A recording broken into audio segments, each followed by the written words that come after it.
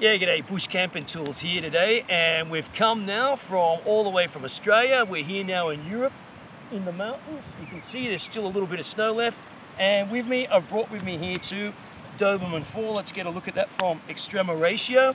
There we are, Dobermann 4, Extrema Ratio. It's got a bit of pine sap already on there from cutting out a bit of fat, fat wood from some pine further down the hill.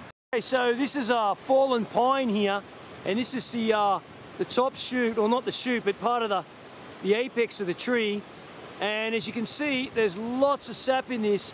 And this is perfect, this uh, wood for, for burning if you can take it and dry it if you get the opportunity. I wouldn't uh, cut down a live tree unless I had to, but uh, you know, because this has fallen down, we're going to collect this now because we can use this for tinder later on. It's just absolutely dripping with sap. This stuff is flammable. Um, yeah, it tastes pretty bitter. Okay, right let's get to it.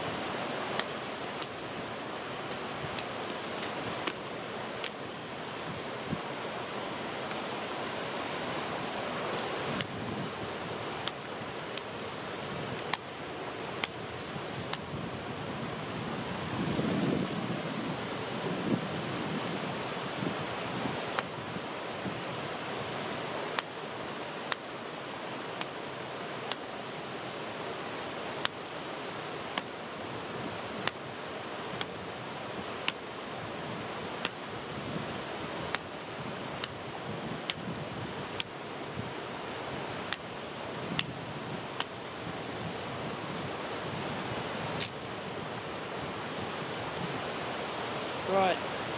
As I said, uh, there's the tip I just chopped off. It's laced with sap. We're going to keep this and dry that out because that's going to make uh, really good tinder uh, in the coming weeks when it's really dried out. Full of sap. It'll burn really well when it's sliced into small pieces and we'll do that soon. Okay. But anyway, this is absolutely fantastic country. Fantastic wilderness here. So follow me now while we go check out this knife, Dobermann 4, in the mountains behind me here. Okay.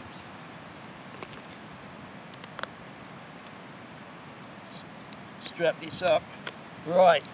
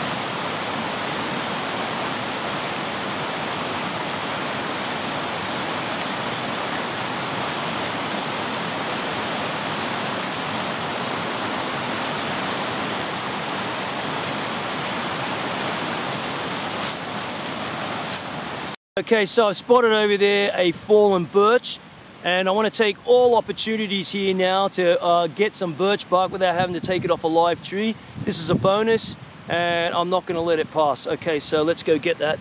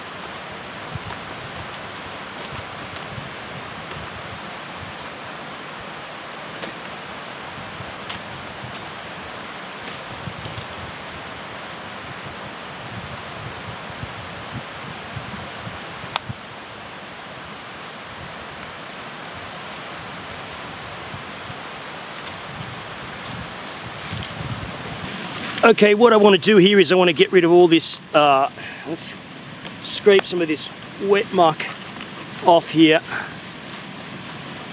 We really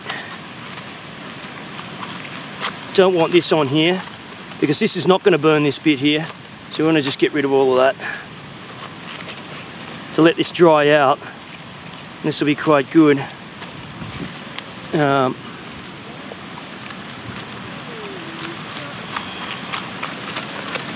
once that dries out, they'll dry out pretty quickly.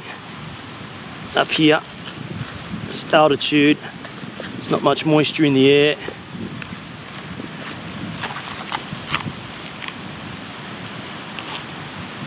So get rid of all that. Really don't want any of this on there.